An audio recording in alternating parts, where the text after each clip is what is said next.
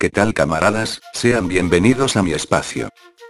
Después de probar el sistema operativo Chakra Linux, un sistema muy bueno, seguro y potente, decidí instalar en mi notebook, Lenovo, G480 el sistema operativo Linux Mint 17.2. Rafaela, no entiendo por qué le ponen nombre de mujer, creo que le ponen el nombre de su novia o mujer, quizás haga una distribución yo y le ponga el nombre de mi novia también.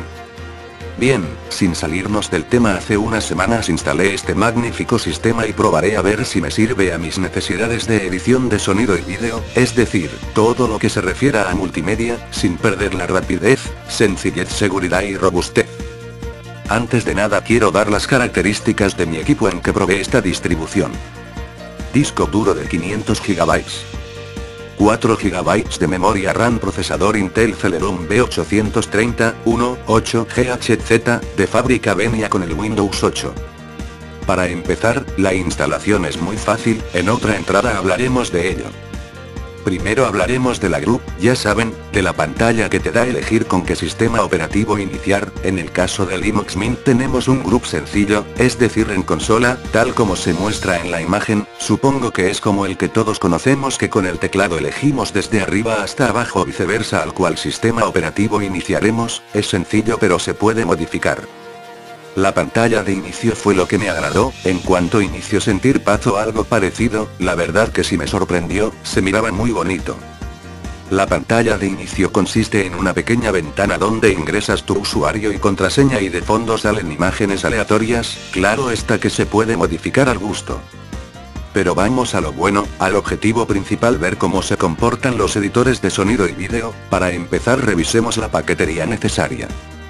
Ardour, este es el equivalente a Pro Tools en Linux, es para la edición profesional de audio multicanal, pero como en mi caso no necesito tanto, no grabo a grupos musicales ni nada por el estilo, así que lo mencionaré poco, el que sigue si se adapta a las necesidades requeridas.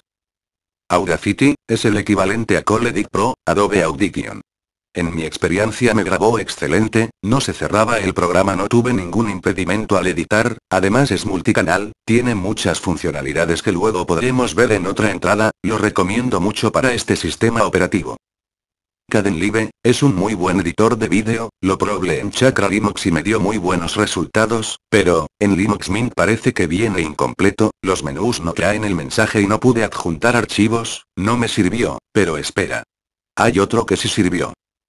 OpenShot, este paquete es muy bueno, trae varias configuraciones y plantillas para iniciar un proyecto de vídeo, es el equivalente al Camtasia, excepto que no le di para capturar la pantalla, pero pues ya hay otros capturadores por separado. Este programa será el que usaré hasta la fecha para encontrarle más funciones, lo recomiendo, pero cuidado, vayan guardando el proyecto porque de la nada se sale, se cierra y se pierde, a veces se puede recuperar pero dos de tres veces no. En conclusión, hasta ahora este sistema me ha dado resultados buenos, yo en la escala de 1 al 100 le pondría un 80, aclaro, según mis necesidades, claro que le puedo buscar, pero me tomaría tiempo, tiempo que le dedicaré y por supuesto publicaré lo que vaya encontrando. Mi necesidad de edición de sonido quedó resuelta, aunque bajo algo la edición de vídeo pero es algo que se puede mejorar con buenas prácticas.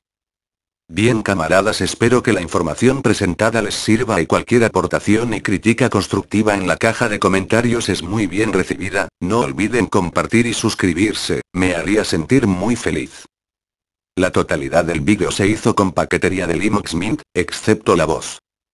Saludos.